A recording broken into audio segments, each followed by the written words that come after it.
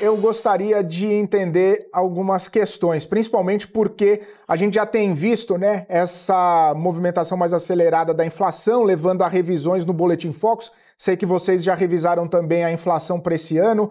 E eu queria saber né, se esse dado de hoje enseja mais reajustes, é, tá mesmo e vai permanecer acima do teto da meta, já começa a complicar também o cenário para o ano que vem. E, esses dados mais é, é, pessimistas né, que a gente viu no, no IPCA 15 de hoje podem continuar justamente com esse cenário que você traçou?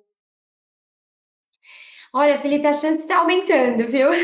Sim. Então, é, acho que o dado de hoje ele ganha um pouco mais, é, ele dá um pouco mais de convicção para aquela aquela historinha que a gente está vindo, os economistas estão falando. Olha, uma atividade muito forte, Terceiro trimestre ainda crescendo bastante. Pode ter um impulso fiscal via eleição municipal, um gasto a mais ali, mas acaba se traduzindo em, em demanda.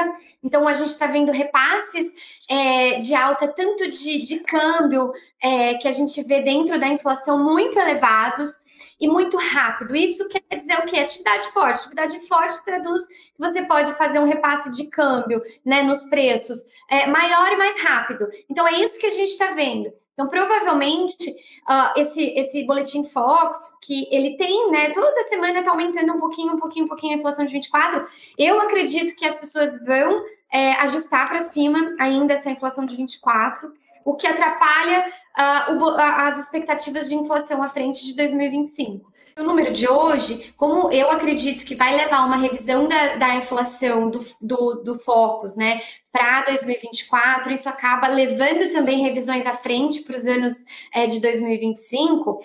Acho que ganha a tese desse pessimismo que a gente vê no mercado a preços de tela mesmo, porque hoje na curva de juros está embutido uma Selic no final de ciclo de entre 13,5 13 e 13,75.